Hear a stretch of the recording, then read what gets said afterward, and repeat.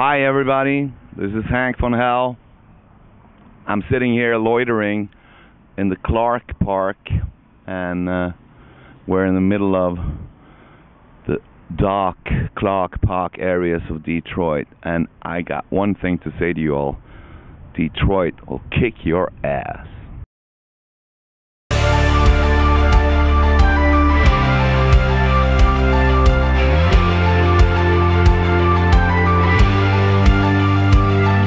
Hadn't been a Detroit at all, uh, there wouldn't have been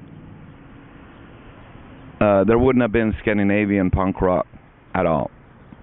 If there hadn't been for Alice Cooper, there wouldn't have been a Hank von Hell at all. So, uh, how how however you you kind of angle or a look at it from different angles, you you cannot escape the fact that that Detroit have has had a huge impact on on Hank von Hell and also the roots of Hank von Hell. You know, all the Scandinavian rock bands and all uh, death punk and everything. So so uh, this is kind of the mecca for Hank von Hell, you know, of rock of Hank von Hell rock and roll. Yeah. The ten years, the mis- mysterical ten years. I did something very stupid when I left the rock scene ten years ago. Well, actually, actually, I did some small rock and roll projects aside after leaving Turbonegro, but. Um, I was asked by by a lot of people why and what are you going to do? And what's the motiva- motivation for for uh, taking such a such a bold decision? And and I I answered very stupidly feel free to speculate. And that totally backfired because people started speculating no, I just had to deal with some shit. Uh, Hank von Hell had to had to go away for a while, and and uh, Hans Erik, the the other inhabitant of this body, uh, needed to figure some shit out. And there were, uh, it was a trial and error thing, you know, and and uh, it just had to be done, and and. Um, and the Hank von Hell uh, universe had to be uh, be mastered uh, with with more conscious conscious uh, awareness uh, control because Hank von Hell was not actually in charge of the rudder at all it and uh, and it, it needed to be uh, kind of put down and then remade somehow.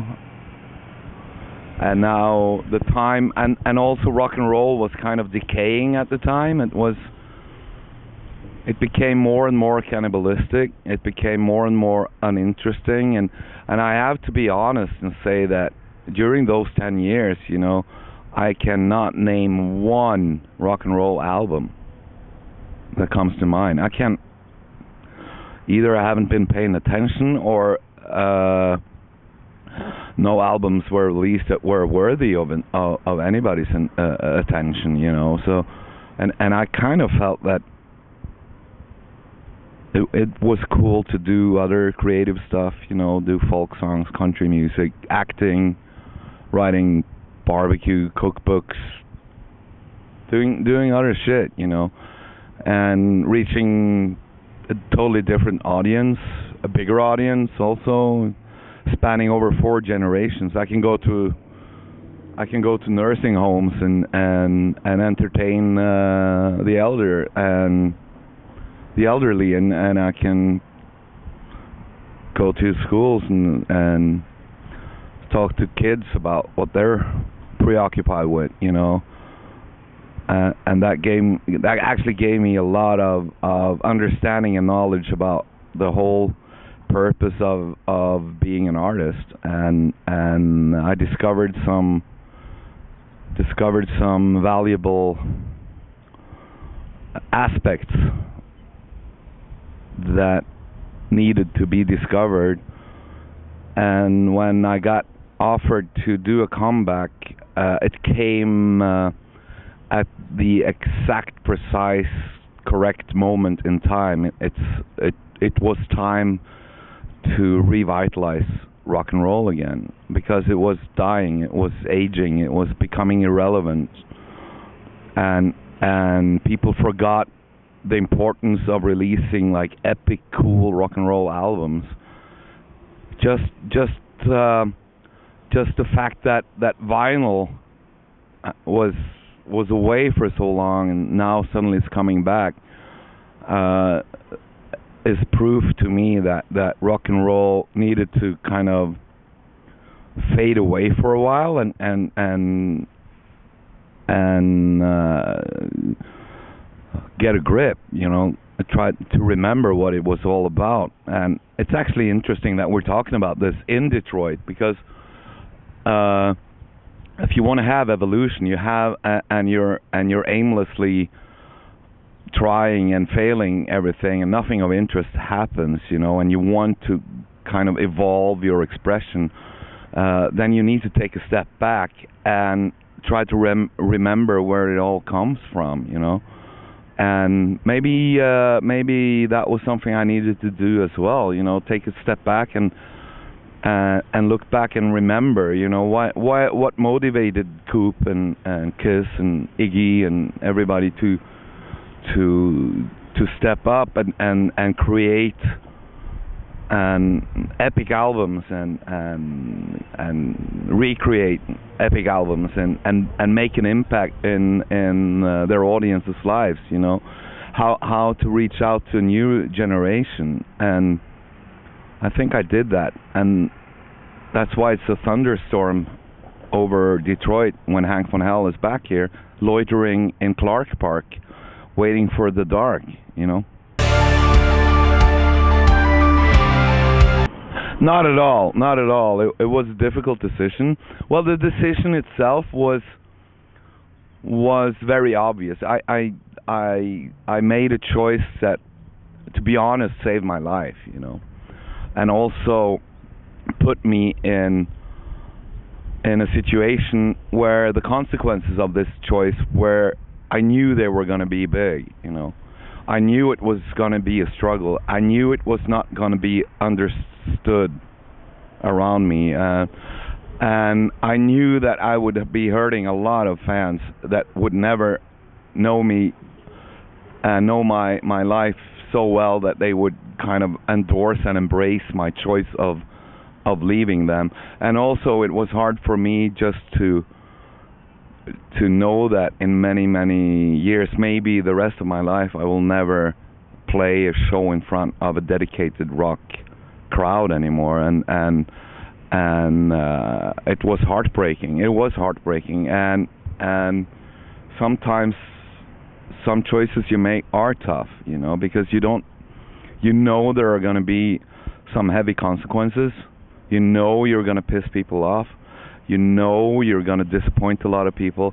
You know also that you will you will never ever be uh, able to walk up to every fucking door uh, uh, in in in every fucking house on the planet with a fan inside that needs to be explained the motivations uh, that led to to this decision so yeah it it was hard and the consequences were were difficult but i knew it it was going to have to be like that and i knew that it w- had to do with with the power of definition and and taking back power uh, to define yourself and define your own your own uh, entity. You know, uh, that implies the fact that somebody else or uh, uh, are having that power. So you actually need to confront it and take back your power.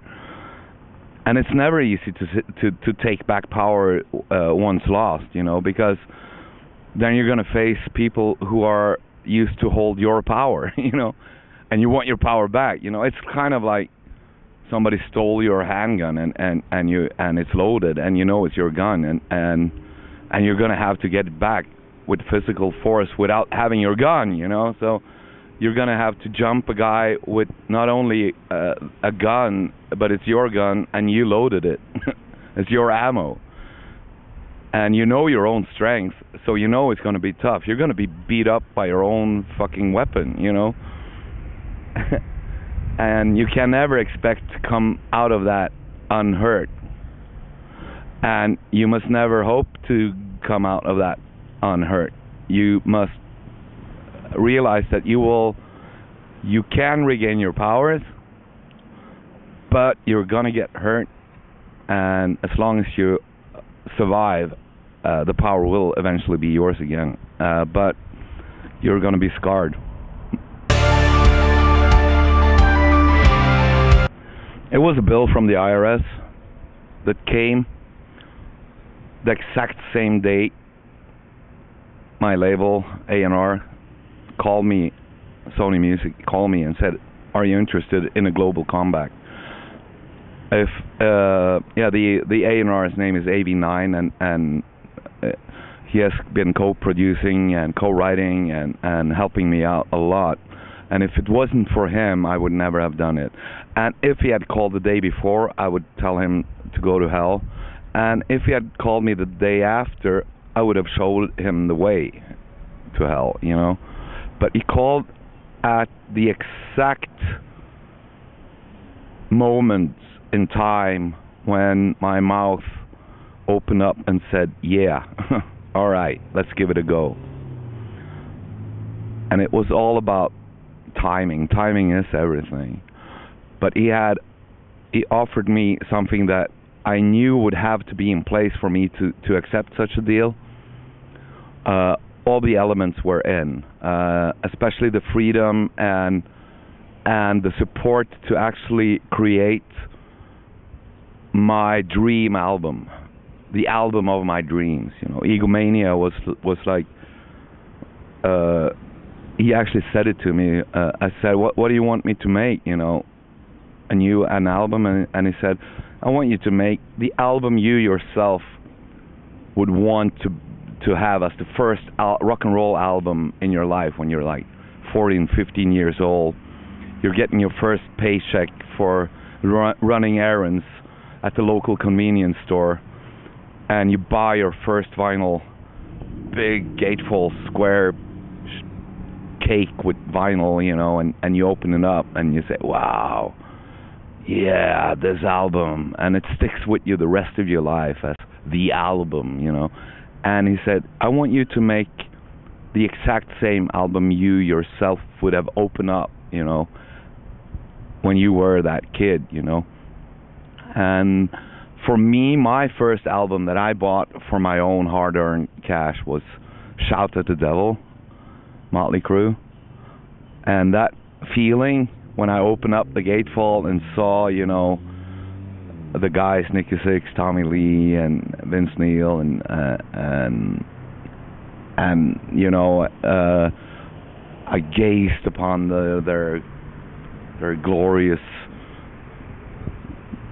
hellish looks, you know, and I listened to the songs and I, I read every fucking word, you know. I I was was even reading, you know, the you know those codes like MMXX things, you know, and try to figure out what the fuck that meant, you know, and and uh, it was just this huge epiphany moment in my life, and I I immediately felt like being a rock star, releasing an album and making a kid feel like I feel now, that would be the ultimate the ultimate high, the ultimate number one on the bucket list of my life, you know. And suddenly I got offered to make such an album, and Egomania is out now, you know. And if I hadn't been offered the freedom and opportunity to create such an album, I would have never done it. I would have turned it down immediately because it's quite strenuous to to deal with with this scene, you know, especially when I'm used to now like working as an actor in theaters and and in different genres, you know, where things are much much more predictable and much more much much safer. I'm I'm a father, you know, I I have you know, you it's totally irresponsible uh, to to to do this and have this as a job, you know, and also with all these all these viewpoints that are around, you know, a lot of your fans are are uh, you know, you're not always getting away with everything. Uh uh, uh so it's it's risky and and it's some sort of uh uh, an element of of submission and self abasement in exposing yourself to the attention of the rock fans, you know. So I I wouldn't have done it if it wasn't if it wasn't for the fact that this was the time, you know. This is correct. I have to do this now. It's now or never. And if you're gonna make that album, you're you're gonna have to to to say yeah, sign the deal. it started out with me just traveling over from Oslo to Stockholm, where AV9 lives, and and we went to to a small studio, homemade basement, not very not very luxurious at all. And and we uh, had Cat Casino. He was at that time a part of the process, sitting there with a guitar, and and we just made demos and made uh, tried write, writing songs together. And uh, we it, we discovered that we had shared philosophy on how to write a song. Uh, and sometimes I get like critics accusing me of, of of more or less scientifically creating songs in the laboratory, and uh, it's supposed to be a way of of giving me an, an, a negative critique, but to me it's actually a compliment because that's exactly what we started doing. We started we started uh, creating we we started creating the emotions first, you know, and then we very scientifically went into our own favorite genre and and and found all the ingredients. It was like uh, like standing in in uh, in uh, you know that that place in that Harry Potter school where where uh, they make concoction. What do you say? Concoction. What's it called? concoctions, yeah, like magic potions. So we went with all the ingredients and and we and we sta- stood there with all these recipes and and experimented and and yeah, we we found it. You know, we we we we uh, we took a lot of different powders and and added water and stirred and and then it exploded into this huge black cloud and then then we made song by song like that and and uh, we managed to to draw the extract of of everything that makes rock and roll great everything that makes a hit rock and roll song everything lyrically that that we knew were were going to to both intrigue and provoke and create laughs and and uh, it was going to be easy accessible but also with all the layers of darkness and yeah. So we just had a great time in that shitty little basement studio. And then we realized that we actually had found a formula on on how to work together. And I, as I was commuting back and forth between Norway and Sweden, uh, I think the whole process took like three months. We were ready to track the whole thing in Gothenburg, and we had found the formula that that creates this Hank von Hell universe. It's actually a, a, a repre what do you call it? Reprio, recreo, recreation, Reincarnation. reincarnation. Yeah. That was actually me saying, uh, "Have you heard a huge sports arena anthem since We Will Rock You?" I asked him. I asked AV9. I said, "Well, yeah. Then you, yeah, you have. No, I haven't." And I said, "Isn't it a little bit fucked up that that's the late last time a huge, big sports arena warrior anthem has been made that actually stuck? You know." Yeah, you're right. You know. And then we said, "Let's make a punk rock We Will Rock You song that will kick ass." in whatever sports arena you come to that will motivate any soldier entering the field of combat that will make a 5-year-old kid dare to go to kindergarten and face his bullies you know that will make everybody just feel that they have the power you know and are totally willing to not give a shit and just go into battle and dead or alive, it's going to be worth it because we're all going to meet in Valhalla and laugh it out, you know. And then we made I Smell Blood, you know, the song Cold Blood, know. And and that was how uh, that uh, that is actually a huge example on how Egomania was created. I want to make a song that is like that, you know, and then we start, you know. Yeah, I am. I am. Given given the the time we had available, given the given the uh all the circumstances, you know, it, it was also given the timing it came and and giving the the fact that more elements was was in there except just me making rock again, you know. It was it, it was the album of my dreams, you know. Yeah. Oh, it's a totally different world. Uh, touring Europe, com- uh, Western Europe, and continental Europe, I will have to say, uh, compared to touring uh, the U.S., UK can also be a little bit difficult. Uh, it, it's it's a different world. It's a totally different world. Uh, it's more comfortable, like physically, to tour continental Europe. Uh, the clubs have better PAs. There are better backstages. You are fed well. You are, you know, it's stuff like that. It, you don't have to. You you you you yeah. You can afford to hire a huge crew of roadies and stuff w- without being without being a huge huge celebrity Slayer size act. You know.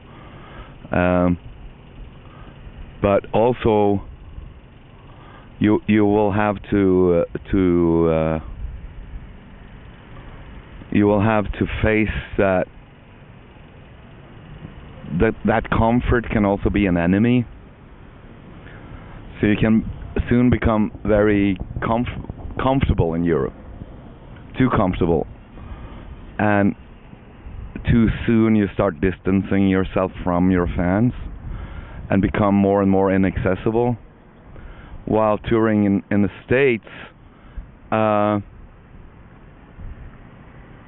you you are you're dealing uh, you're dealing with a reality that that dictates much more passion and love on a one-on-one level. Uh, you are the your fans in America have much more sympathy for your situation because they know that you don't have that luxury life that you're used to touring in Europe, you know. You are you are a little bit left to fend for yourself here. Nothing comes for free here. Uh, you are you will have to you will have to uh, load your the gear yourself. You will have to to to cope with a lot of stuff that you would never ever accept in Europe, you know. Uh, but the reward is that your fans are so sympathetic to that fact that the support is is not just like cheering at you.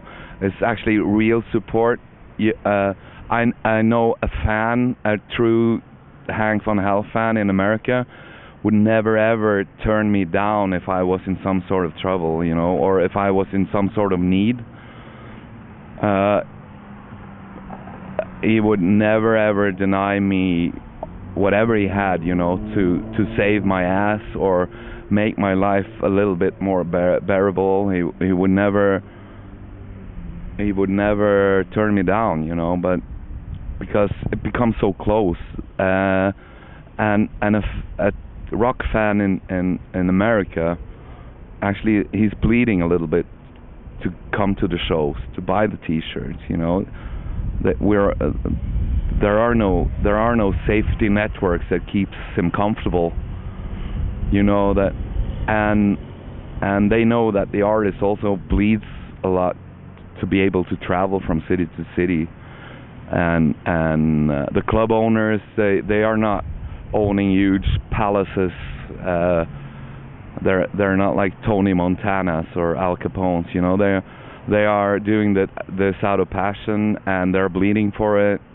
They're not making shitloads of money and and and and of course you you uh, sometimes you you meet you meet clubs and and places where people don't give a shit about you but that's very rare actually the that that warm welcome is actually very rooted in the fact that that people are bleeding here you know people are bleeding for their passion. So the warmth and the welcome is not just politeness it's actually heartfelt you know. And i think that has that is also a uh, something that i think has something to do with with Detroit being one of the birthplaces of of this punk rock, crazy rock thing. Uh, it's a working class city. It's a city where suddenly like ten thousands of workers can be laid off overnight because the car industry is going south, you know. And they will just have to stick together until better times and and uh, and that created both both uh, rock and roll, uh, the Motown sound, and also the hardcore, good quality hip hop. You know, and rap music. It comes from an area where where sometimes you're so fucked by the system and the reality, the harsh realities of life, that the last thing of value you have is the love and support and passion from your brothers and sisters around you and and the only way you can survive is by expression of thought. That's all all all you have left you know and and and here it it's a life and death matter you know. In Europe we have all these structures that that keeps even the weakest safe by by government you know like we are people and that's a good thing. I'm not saying that it's a bad thing but sometimes politeness and more or less you know that old term slumming that actually very wealthy kids are are are mingling with with struggling kids and you know it's a phenomenon all over, but but I don't know. It, it's it, it's always last resort here, you know, and then you stick together, you know. All we ha- all, all you have are uh, is your fans, and all they have is, is you. And then if they see me bleed, they come and, and patch up my wounds, you know. And uh, and if, if I see an American fan like struggling, hurting, you know, I I immediately I immediately meddle with it, you know, go in there and like what's wrong? What can I what can I do, you know, like do you need something, you know, do you need me to cheer you up, you know? So and and it fall it it comes natural. You know that if it if if it's not you, if it's not me, then there will be nobody else, you know there's not like, oh yeah, you can just go be taken care of by some organization or a system, you know. Don't have that here. yeah, it had to. Uh, but that does not imply that I blame Turbonegro, if you get me.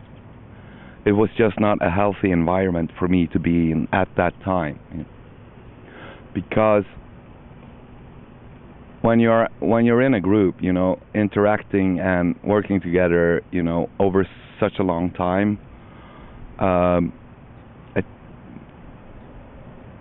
whatever you do and whatever is done around you by your peers, you know, to better situations, you're still stuck with with the past, you know, and and uh, you know the Metallica movie, some kind of monster, you know, it's it's like that. It it it would have taken like a core of therapists to clear up all the bad memories of of uh, of past frustrations, you know, on all sides, and and just for me to be a father, just to me for me to figure out who I was, you know, I I would have to distance myself from uh, and not like things.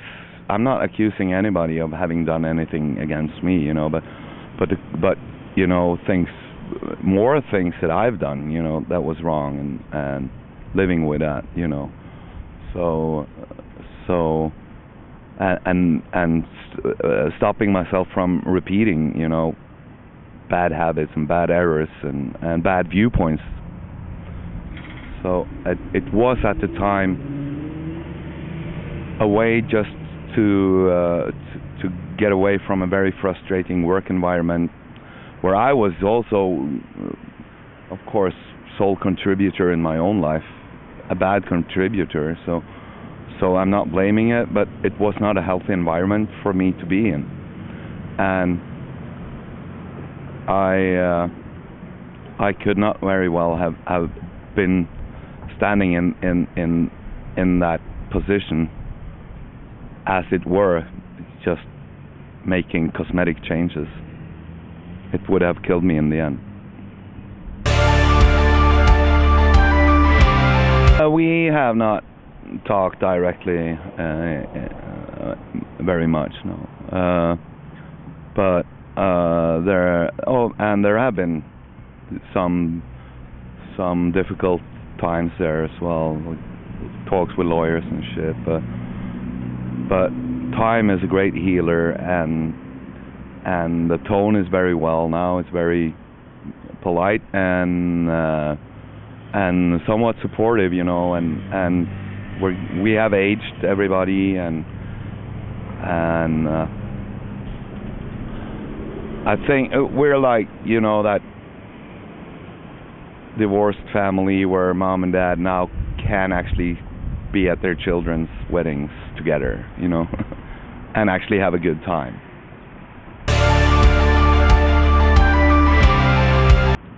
Actually, I'm. The future is very interesting because I have on my rider now that I want to have a chocolate bar from the future in every backstage because I'm so curious about like how chocolate will taste 500 years in the future. So I'm gonna try future candy. The second album is in the making as we speak. Uh, some singles will be released now this year. Uh, next year, the whole album Dead will be released. I can reveal the title. Shit, I had to quarrel with my lo- uh, my label for to to have them en- endorse me calling the album Dead. but because uh, it's a quite strong word but I thought like using all these like death allegories and and word games, you know, like detonator or killed by death or death from here and there, you know.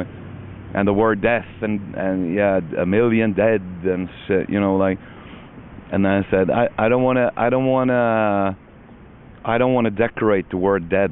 I just want the word dead. And then people can figure out the rest for themselves. So, so it's in the making. It's to be a very dark album. So when uh egomania is like the party of comeback dead will be like the sentence of comeback uh, so um, it, it will be um, a huge follow-up to the Egomania album, and I will for sure be touring more, bigger, more intensively next year, 2020. Especially if I'm elected emperor of North America's Hank 2020 for emperor because I, I realized that since I'm not born in, in the US, I cannot be president, and then uh, and I cannot be I cannot be leading both the US and Canada. So I would have to become emperor of both countries in this coming election. And then also, you know, that freedom of speech thing, I can adjust that so you're allowed to to speak freely, but only if you say cool stuff. That makes me happy. Like laughable things, cool jokes and stuff. Yeah. There used to be an Italian pizzeria in Oslo that had my favorite my favorite topping that is capers and anchovies uh, one of the four basic Italian pizzas called Napoletana, and but that is actually Italian pizza at at its most refined, you know. Uh, and I I usually set that aside, and I don't want to compare true Italian pizza with American pizza because it's so different that that I'm not sure if it's if if it's fair to name both dishes pizzas even because they're so different. But uh but to me a New York slice like from any standard New York pizza parlor of any quality it fucking rocks my world one triangle pepperoni in there and they do that weird thing, you know, they heat it up so the crust becomes reheated and crusty. So uh, so uh, that will always stand out. But then again, up here there are some Detroit and Chicago has are famous for some pizzas that I've only learned about through social media media and I haven't eaten that much pizza up here, which is a shame because because I I know there are some famous pies around the around the Great Lakes actually. So, so um, tonight I'm gonna I'm gonna dig into a pepperoni El Club pizza as an after show pizza, and tomorrow I'll be having a Chicago pizza, and then I'm gonna go to St. Louis and see if they have a Juicy Lucy there, you know.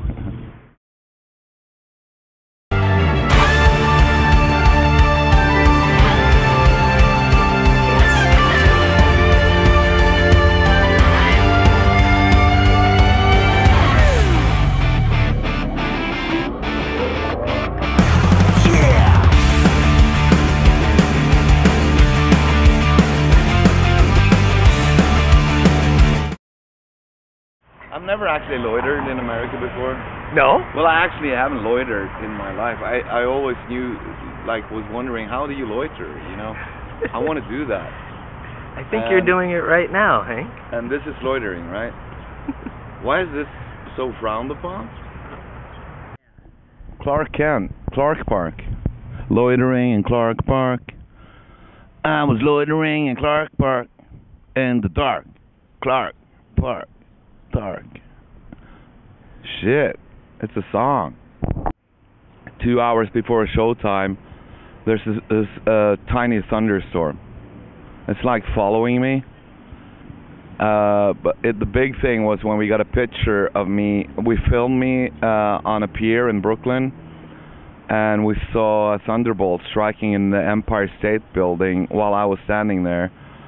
And it's a fucking historical moment. And the first rock star to ever be able to procreate thunder and lightning over New York by my mere presence. And now we're loitering in Clark Park in Detroit.